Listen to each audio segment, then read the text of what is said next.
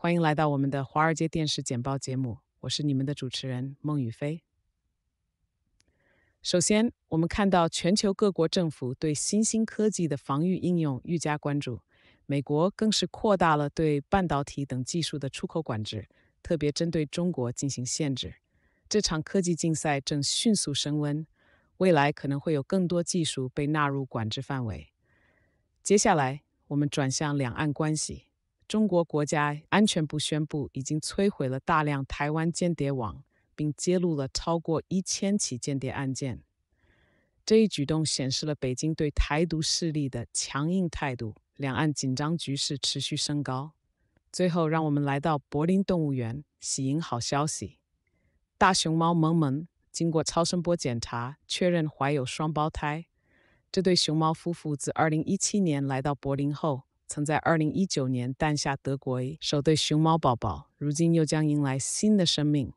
请大家继续收看详细内容。日本时报对于大多数政府来说，思考新兴技术时的首要关注点是他们的潜在防御应用，以及对手获取这些技术后可能带来的军事优势。为了应对这一担忧，各国扩大了出口管制范围，涵盖了这些新技术，打乱了合作。干扰了商业，并给使这些管制生效的机构和伙伴关系带来了压力。目前，半导体及相关技术是把主要关注点。拜登政府采取了极大努力，切断这些技术向包括但不限于中国在内的关注国家的流动，并敦促盟国政府也采取同样的措施。美国将其政策描述为“小院高墙”，但随着华盛顿评估其他技术的潜力，这个院子。很快会变大。南华早报：北京的顶级间谍机构称，在一次打击行动中，揭露了超过一千起台湾间谍案件，并誓言继续对岛内的台独势力施压。国家安全部在微信上的一篇帖子中表示，这些案件是在近年来一系列特别行动中揭露的，并继续严厉打击间谍活动。帖子提到。台湾政治活动家杨志渊的逮捕是将台独分子依法追究分裂国家罪责的创新。杨于2022年8月在浙江温州被拘留，涉嫌从事分裂活动和危害国家安全。案件在2023年4月移交检察机关时，北京表示他将面临分裂罪指控。这是首例台湾人因分裂罪在大陆法院受审的案件。近年来，还有几例台湾人在大陆因涉嫌危害国家安全活动被判刑。国家安全部在帖子中承诺坚决打击与台湾相关的分裂主义和间谍活动，并粉碎任何追求台湾独立的企图。美联社：柏林动物园传来令人期待的消息，大熊猫梦梦再次怀孕了。几个月前，德国出生的首批大熊猫已被送往中国。动物园周二表示。周末的超声波扫描显示，梦梦怀有两只幼崽，它们仍需大量生长，但如果一切顺利，预计将在八月底出生。梦梦和雄性大熊猫交庆于2017年抵达柏林。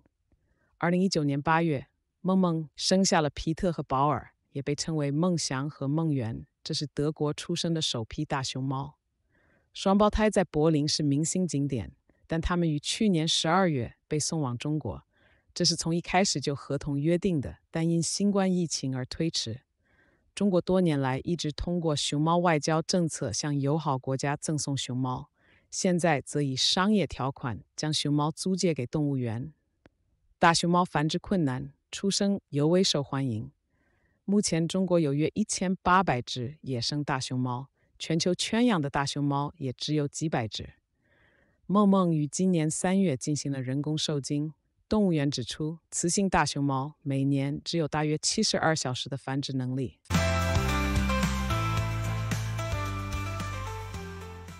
南华早报报道称，由中国和美国研究人员共同领导的一项研揭示了氯胺酮为何能迅速治疗抑郁症的机制，被认为是几十年来精神健康领域最重要的进展。研究表明，氯胺酮。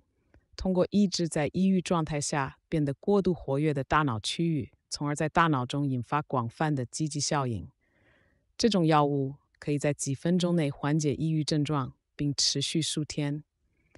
研究团队发现，氯胺酮选择性的抑制了与抑郁症相关的侧壳中的神经活动，而在另一与抑郁相关的大脑区域海马体中却没有同样的效果。研究人员表示，这一发现有助于更好地理解氯胺酮作为抗抑郁药的作用机制，并有望开发出更高效、精准的抑郁症治疗方法。南华早报还报道了2024年巴黎奥运会上的时尚亮点：蒙古队凭借由时尚品牌 Macleland Amazonka 设计的精美制服，获得了最佳团队制服奖。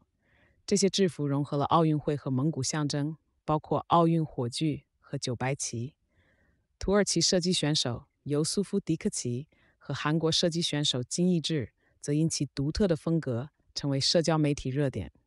迪克奇以简约风格和冷酷的刺客形象备受瞩目，而金义智则以其未来感造型成为焦点。香港选手张家朗在比赛中佩戴的奢华珠宝也引起了广泛关注。此外，一名在女子100米蛙泳比赛中救援泳帽的救生员，因其彩色泳裤和随意的风格，被戏称为“泳帽捕手鲍勃”，在社交媒体上引发热议。最后，南华早报报道了奔驰韩国在一起电动车起火事件后公布电池供应商名单的消息。八月一日，一辆奔驰 EQE 350电动车在停车场起火，损毁了数百辆车。并引发了全国范围的恐慌。奔驰韩国确认起火车辆配备的是中国法拉斯能源公司的电池。此事件引发了对电动车安全性的担忧，促使一些公寓禁止电动车进入地下停车场，并关闭充电站。奔驰韩国还宣布将为所有电动车型提供免费检查，并计划捐赠约三十三万美元帮助受灾居民。此次事故引发了公众对电动车电池供应链透明度的强烈要求。政府正在考虑强制要求电动车制造商披露电池供应商信息。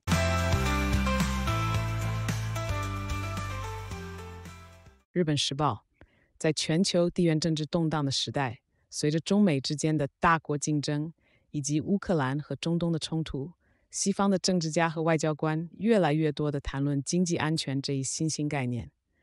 这一概念被广泛定义为在半导体、电池和稀土矿物等领域建立基础设施和供应链的弹性，保护先进技术并抵御经济胁迫。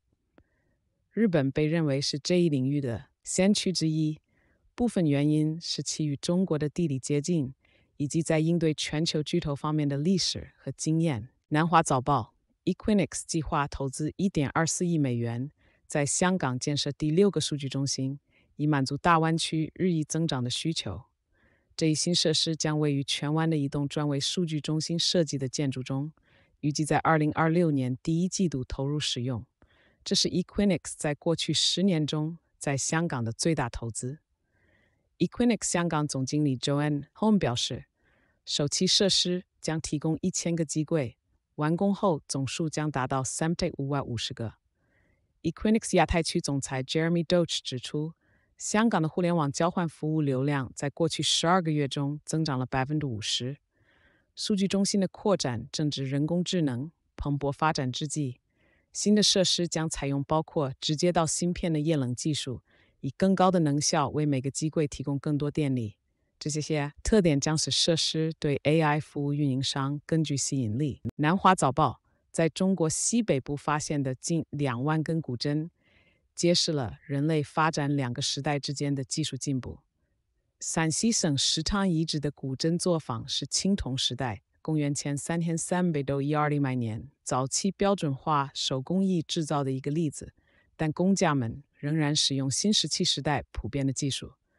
表明该作坊处于大约公元前两千年，从新石器时代向青铜时代过渡的前沿。研究人员在《人类学考古学杂志》九月刊中指出，石称的古工具和材料标志着这一过渡的门槛，最终导致郑州、安阳和周原的大型青铜时代作坊的兴起。石称遗址属于龙山文化，该文化大约存在于公元前三千至一九零百年。因制作高质量陶器而闻名，并最终演变为青铜时代的二里头文化。考古学家认为，古筝作坊是了解这一演变的关键证据。研究表明，石城的专门化古工具生产作坊，可能是连接小规模、非专业化的新石器时代古工具制作传统与青铜时代国家工业规模古工工具生产作坊的潜在纽带。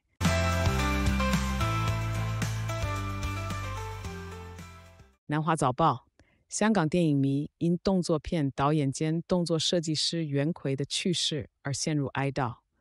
袁奎于2022年因新冠去世，但其家人一直保密，直到成龙在纪念七小福成立65周年的社交媒体帖子中无意间透露了这一消息。成龙写道：“我们怀着深深的悲痛告别袁奎，他在动作电影界的遗产无可比拟。”袁奎在一九七零年代初开始演戏，并在他导演的电影和朋友的电影中继续出现。他在好莱坞也有频繁的工作，包括《X 战警》和《敢死队》等项目的动作设计师。本文回顾了袁奎的五部经典作品，包括《龙之忍者》《皇家师姐》《指导黄龙》《方世玉》以及《非常人贩》。这些电影展示了他独特的动作设计风格。和对动作电影的贡献，特别是《非常人贩》中杰森·斯坦森的滑油打斗场景成为经典。悉尼尘风暴，保罗·基廷和南希·佩洛西因台湾问题针锋相对。前美国众议院议长佩洛西称，基廷将台湾描述为中国房地产是愚蠢的说法。基廷反击称，佩洛西在2022年访问台湾时鲁莽放纵，几乎将美中推向战争。基廷在接受澳大利亚广播公司七点三零节目采访时，探发了对中国入侵台湾的担忧，称台湾是中国房地产，引发台湾外交部的不满。佩洛西在推广他的新书时回应称：“台湾是台湾，拥有自己的民主。”基廷的言论不符合亚太地区的安全利益。基廷强调，他代表的是澳大利亚的国家利益，而非美国或台湾的利益。并批评澳大利亚广播公司对佩洛西的言论过于兴奋。台湾在澳大利亚的实质大使馆和台湾外交部对基廷的言论表示困惑和误导，认为这与当前地缘政治形势不符。南华早报：中国的奥运明星潘展乐和全红婵因粉丝文化的过度狂热而苦不堪言。十七岁的跳水天才全红婵。在机场被粉丝包围的视频在小红书上热传，引发用户对粉丝行为的愤怒。游泳选手潘展乐在巴黎奥运会上获得两金一银，他表示愿意放弃奥运成功，以换取安静的生活。潘展乐在接受中国媒体采访时表示，他无法单独外出，甚至在酒店接受采访时也被粉丝围困。他关闭了唯一的微博粉丝账号，以专注于。全红婵在夺得女子十米台和双人项目金牌后，回到家乡，却发现家乡变成了旅游景点。他在机场被粉丝包围，甚至有人不断将花束推向他，让他感到不适。这些情况引发了网友对粉丝行为的讨论。有人认为全红婵被推到了忍耐的极限，也有人批评她不应拒绝粉丝的花束。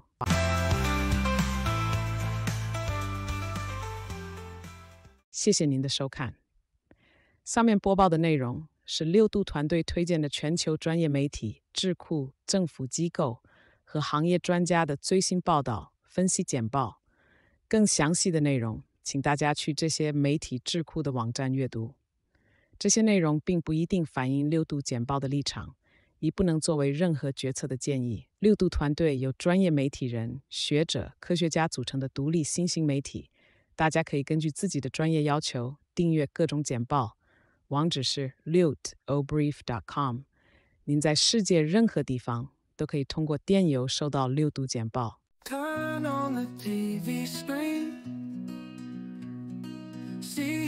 world unseen.